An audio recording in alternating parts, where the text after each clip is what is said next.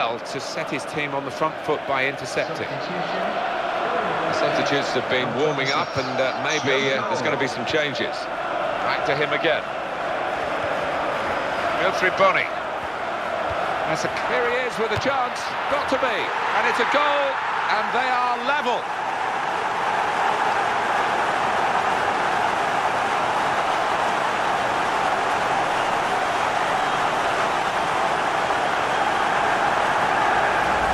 the statisticians have been proved right here, haven't they? If you keep shooting, you're going to you're going to score, aren't you? The percentages tell you that, and that certainly happened in this match. Yeah, when you create as many chances as they have, yeah, I mean, it's always on the cards that they're going to get a few, and it's been fantastic for the strikers, particularly out here.